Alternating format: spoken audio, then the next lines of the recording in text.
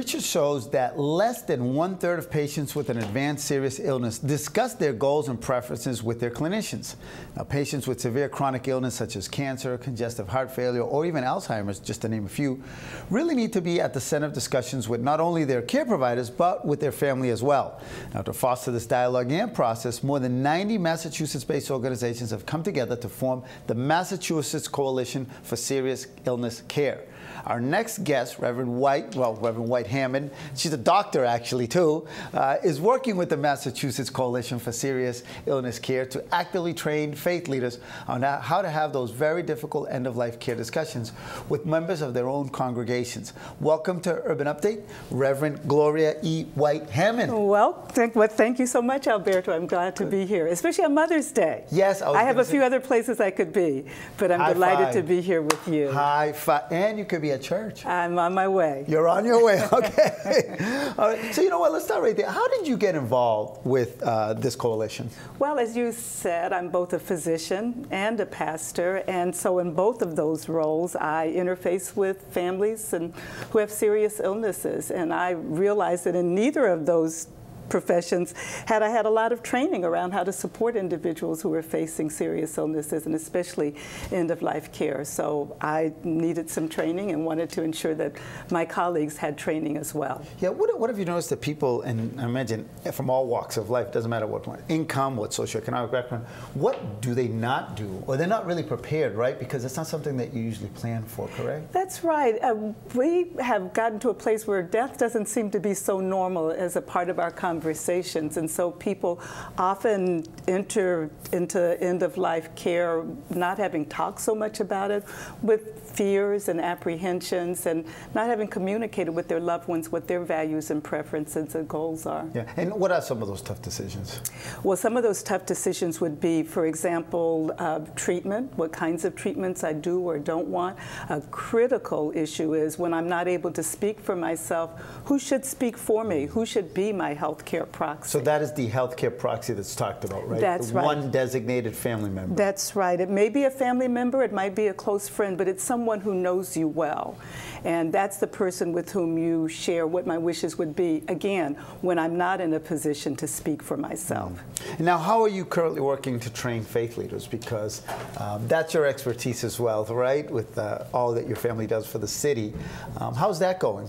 It's going really well. Uh, several years ago, I became involved with the Massachusetts Coalition for Serious Illness, and one of the co-chairs for the coalition is uh, Dr. Atul Gawande, who's a surgeon, who developed um, a serious illness conversation guide initially for clinicians trying to help individuals with serious illness to discern their, um, their, their end-of-life care wishes. When I looked at that guide, I realized that those are some of the conversations that clergy can engage with as well. So what is your understanding about the disease? Uh, what are your fears and apprehensions?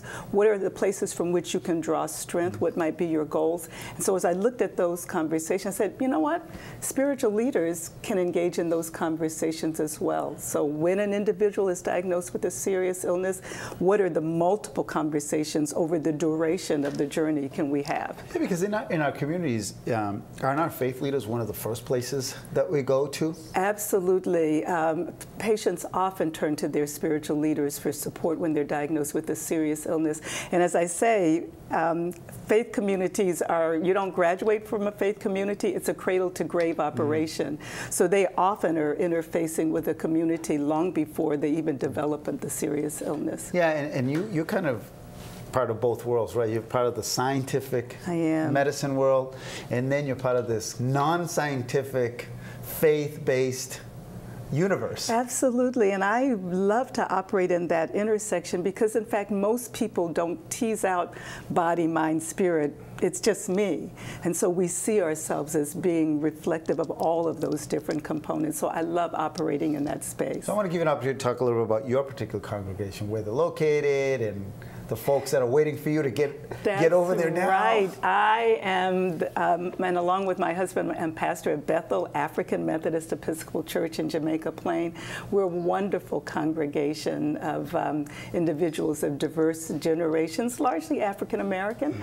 And um, these are individuals who are excited about life, deeply committed to serving God and serving God's people. Now, your husband's been here before. My husband has been a lot of places before. My husband is the Reverend Dr. Ray Hammond, who is uh, just an amazing man, really grateful to be uh, um, his wife and the mother of his kids, and he's deeply involved in lots of issues. Do me a little favor, remind him that we have an ongoing tie kind of competition because whenever he comes here, he tries to wear a, a, brighter tie, and usually he wins. He's a very he's a very good dresser. He, and he picks out his own ties. Yes, he, he's yeah, that's well. right. Yeah. So please let him know that uh, I'm thinking of him as well today. I thought of him when I wore this tie. Well, thank you so much. I will be sure to let him know that.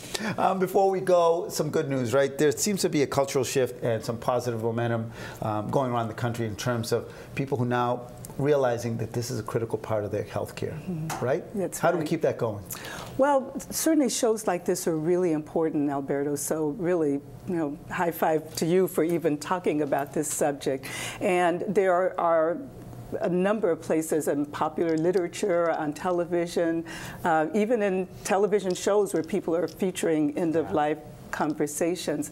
And I think as more people have better experience, because we know that when those conversations are had in advance, then people do have a, a, better quality of care. They're more satisfied with the quality of care. As more of those experiences are shared, then people will feel more encouraged to talk about these issues. Well, I want to thank you for taking time out, A, on Mother's Day, and B, on Sunday. I know that you, you, know, you, you do have some responsibilities today on many levels. So thank you for taking the time to kind of inform us a little bit about this really important subject matter. Well, thank you, and thanks to your listening audience for all the ways that they are advancing the conversation as well. Great. Thank you so much. Thank okay. You.